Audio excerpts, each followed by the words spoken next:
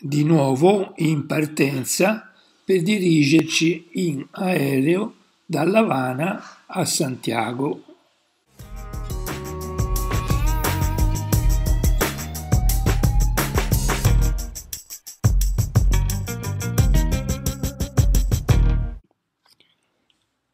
Arrivati all'aeroporto siamo saliti con i nostri bagagli su un pullman messoci a disposizione dall'agenzia di viaggi e siamo andati a visitare l'antico castello di San Pedro della Roca, noto anche come Castillo del Morro, progettato dall'italiano Battista Antonelli e costruito nel 1663. È sicuramente il più bel forte da visitare a Cuba, sia per la posizione strategica e perfetta sulla baia, sia per la struttura stessa ben conservata e particolare, essendo a scalinata fino al livello del mare e tutta percorribile. Nel suo interno è visitabile un museo. È posizionato a circa 10 km a sud-ovest dal centro della città. Dalle sue mura si gode una vista spettacolare e indimenticabile.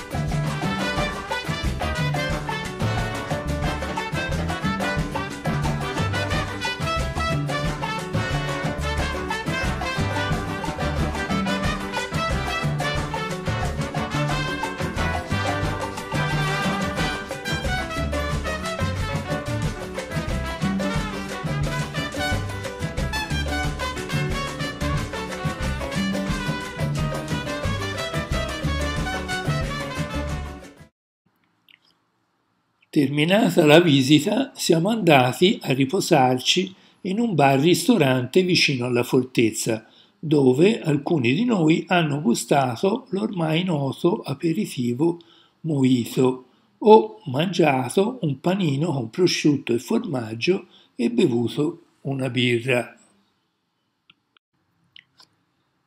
Ci troviamo a passeggiare per la città vecchia di Santiago e precisamente in centro nella piazza Cespedes, dove si trova anche l'imponente sua cattedrale e il municipio dove dal suo balcone Fidel Castro fece il suo famoso discorso il primo gennaio del 1959 dichiarando che la rivoluzione aveva trionfato vi si trova anche un grande e famoso albergo, l'Hotel Casa Grande, in stile coloniale.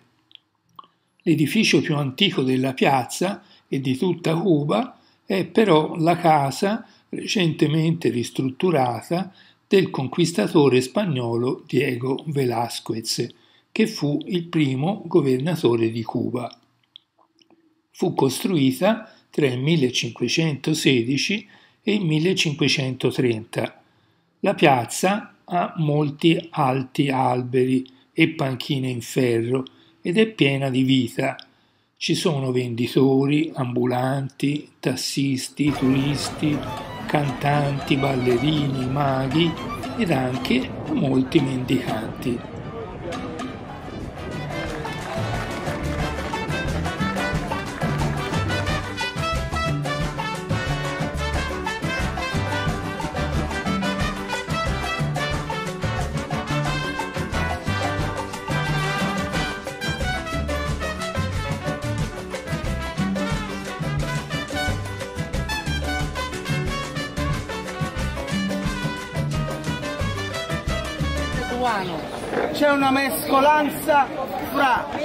Musica africana e quello che ne apportano i cubani, utilizzando solamente gli strumenti musicali che si sono portati dall'Africa.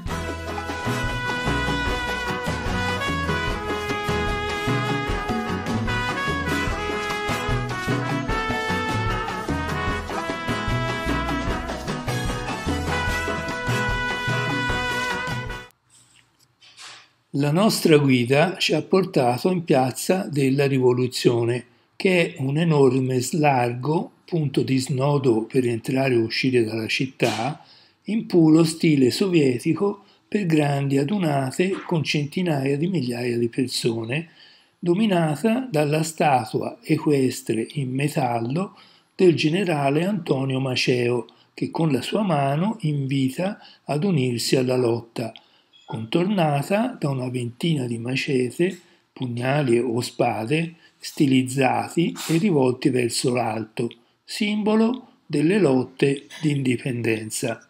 Dopo aver pranzato in questo ristorante ci siamo trasferiti e sistemati nel nostro albergo Melia Santiago a 5 stelle.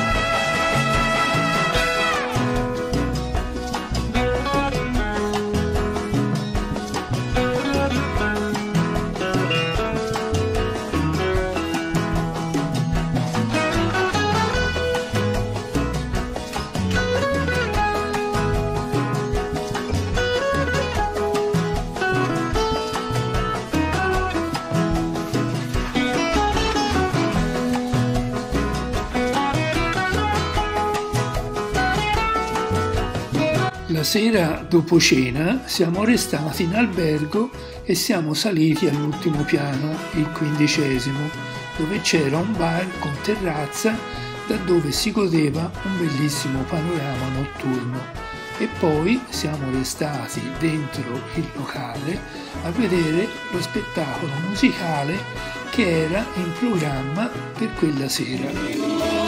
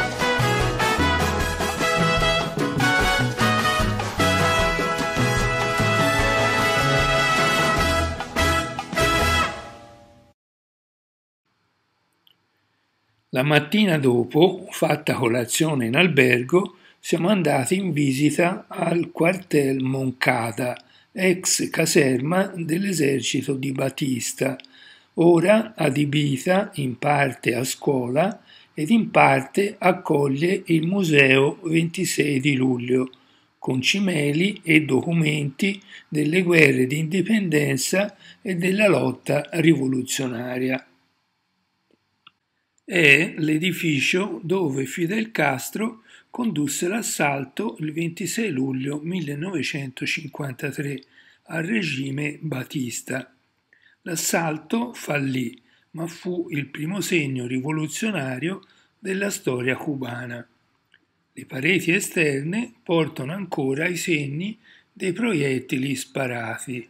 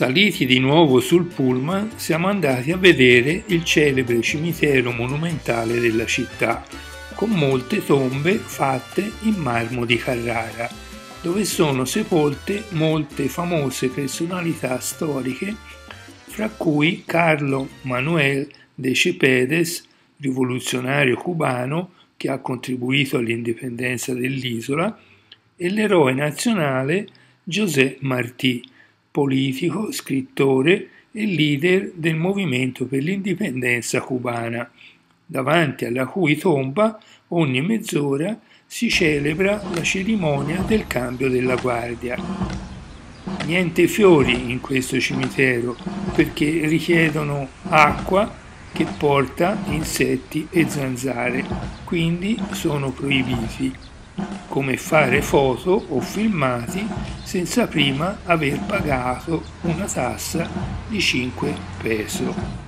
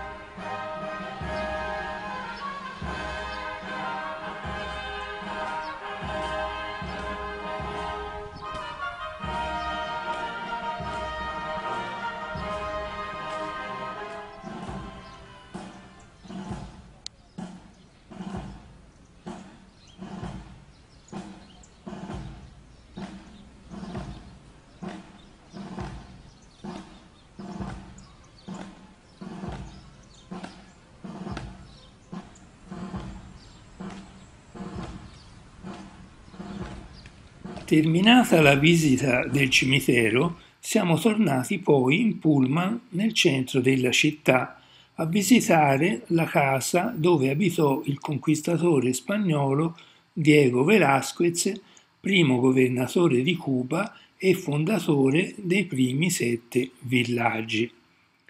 È una delle case più antiche di Cuba, tipicamente spagnola, dove è stato allestito un museo ben tenuto con gli arredamenti dell'epoca che ci portano indietro nel tempo. La sua struttura massiccia ha resistito a molteplici terremoti avvenuti nel corso degli anni senza mai cedere.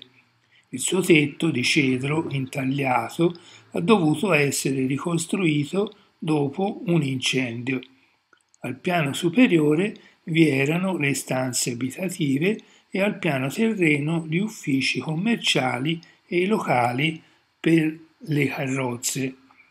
Si possono vedere degli armadi con splendide cesellature ed anche un forno che serviva a fondere e a lavorare l'oro proveniente dal Centro America dai numerosi saccheggi dei conquistadores spagnoli. Vi sono anche preziosi oggetti spagnoli e francesi di porcellana.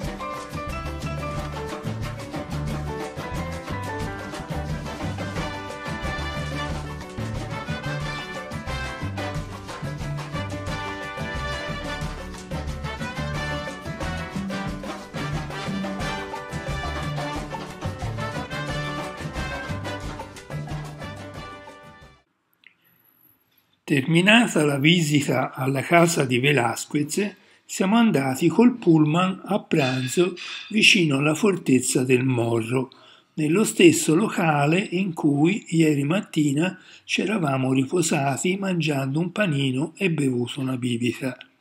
Il locale è all'aperto e sotto alla sua tettoia ci siamo seduti formando due lunghe tavole.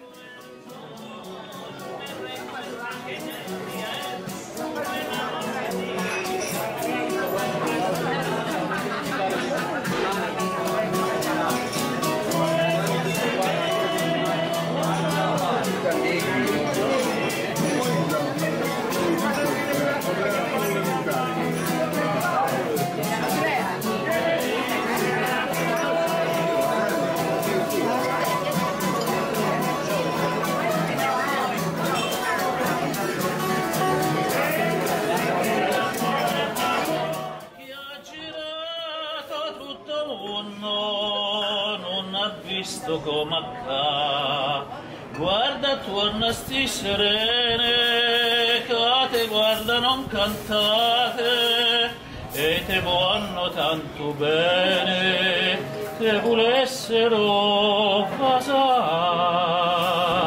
E tu dici parto a Dio, da sto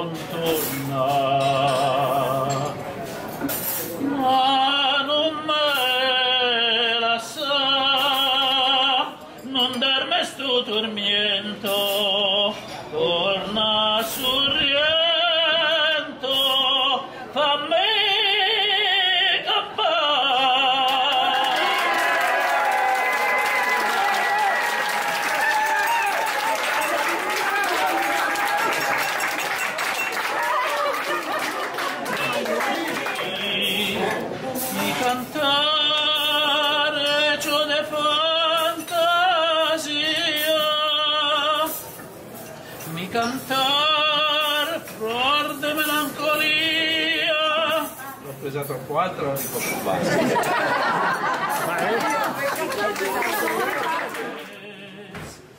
Granada, Manola, cantada en coplas preciosas.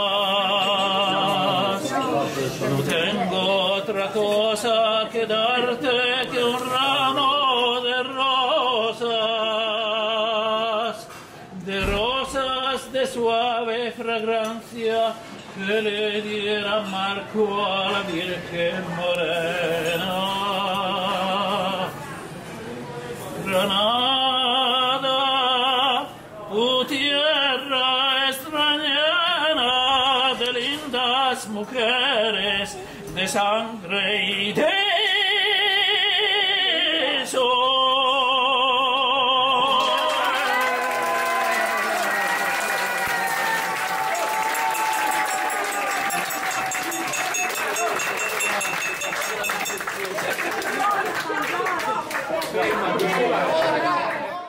Terminato il pranzo, siamo andati a trascorrere un po' di tempo alla casa della Trova della città, un tipico ritrovo di musicisti e amanti del ballo, una vera istituzione. Questa casa, di aspetto modesto, ha sempre accolto i tipici ritmi cubani. Continue musiche indiavolate vengono suonate nel suo interno tappezzato ovunque con foto di musicisti celebri.